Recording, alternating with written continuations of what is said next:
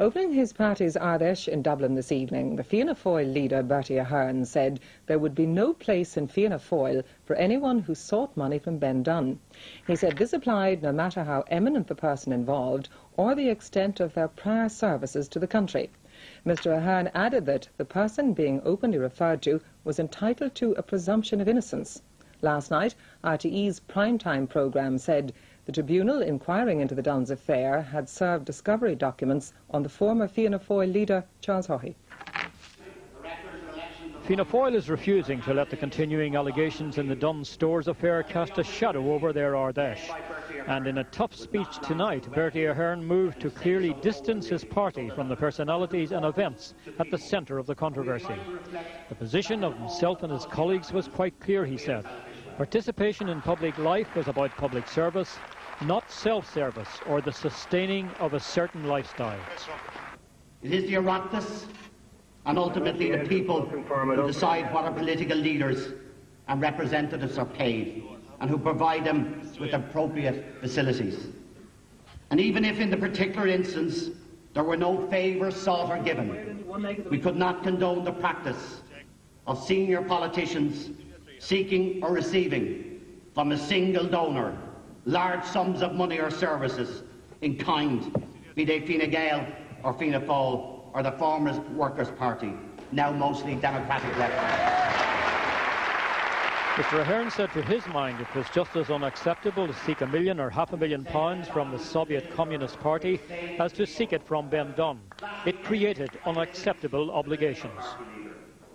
And certainly, and let us be quite clear, there would be no place in our party today for that kind of past behaviour, no matter how eminent the person involved or the extent of their prior services to the country. But equally,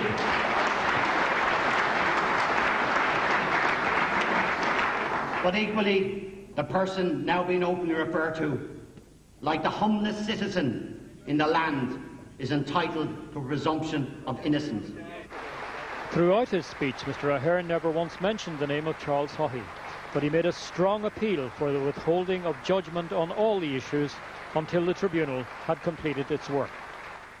Our political editor, Donal Kelly, joins us now from the RDS. Donal, what was the delegates' response to that very strong speech from Bertie Ahern? Well, Mr Ahern was given an enthusiastic uh, reception when he arrived in the hall to make what was the toughest opening Ard Fheis speech I have heard for quite a long time. Uh, he moved very quickly to draw a steel curtain, as it were, between the party he leads today and the party that is at the centre of all the allegations that are floating around at the moment in relation to the Dunnes affairs. And it was noticeable that the delegates hung on to his every word in that passage. Uh, there was strong applause when he said there was no place in the modern Fianna Fáil uh, for that behaviour. But there was equally some sympathetic applause when he said there should be no judgments made and people should withhold judgments until after the tribunal had completed its work. Still, of course, politics is very much about perception. Uh, is the Dunnes affair going to cast a shadow over the entire proceedings of the Ard Fheis? Well, I would think that there are many in, in Fianna Fáil who are waiting with trepidation for the papers over the next few days. But uh, the organisers here in the party hierarchy are adamant that it will not be allowed to cast a shadow over the Ard Fheis. It is nevertheless a talking point uh, among delegates, and it is obviously a talking point uh, with the media. But they're determined to put it to one side. This is a different Fianna Fáil, they say, and this is a different Fianna. This is a Fianna Fáil that is preparing for the election, and that's what this Ard Fheis is all about. Yes, well, we've already had a strong whiff of election fever in the last week or two. Uh, do the delegates seem buoyed up for the fray? Well, the whole purpose of this Ard Fheis, of course, uh, given that it could be within two or three weeks of an election campaign, is to galvanise delegates, the party activists, send them back to the constituencies, eager to work, as Fianna Fáil would see it, for the return of the party uh, to power. And tomorrow night, uh, Mr Ahern will obviously make uh, the address about the policies which Fianna Fáil will take uh, into the election. And the whole thing, the weekend, is the springboard for Fianna Fáil uh, into this uh, pre-summer campaign. Donal, thank you for joining us. The Tribunal of Inquiry has refused to comment on whether or not Mr Haughey has complied with an order for discovery of documents. It's understood the former Taoiseach was asked to comply with the request by today. Mr Dunne is due to give evidence to the Tribunal on Monday. The disclosure on RTE's primetime programme last night confirms earlier reports in the Sunday Tribune, the Sunday Times and yesterday's Daily Star that Ben Dunne will name the former Taoiseach Charles Haughey as the recipient of over £1 million from the former supermarket tycoon. For the past few months, close associates of Mr Dunne have been making clear that the businessman will tell all to the McCracken Tribunal when it gets fully underway next Monday. Primetime revealed last night that an order of disclosure was served on Mr Haughey last Friday. Meanwhile, Fianna Fáil say they're not embarrassed by any of these disclosures. We called for the establishment of this tribunal in the first place so that the truth would out.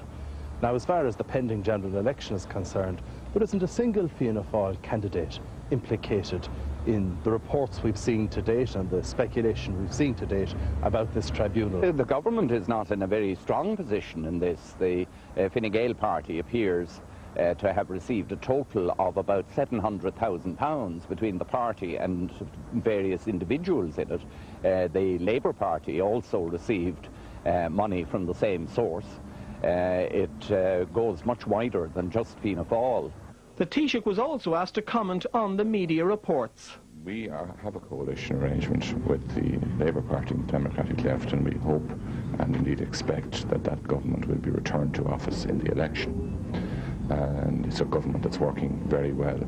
Other parties may have to look at the implications of things that will come out for themselves, but until those things come out, uh, we shouldn't make any uh, conclusions about that because I think we should hear what has to be said and assess it. Last Friday, the Tribunal of Inquiry made an order for discovery of documents against Mr Haughey. It's understood they gave the former Fianna Fáil leader a week in which to comply with the order.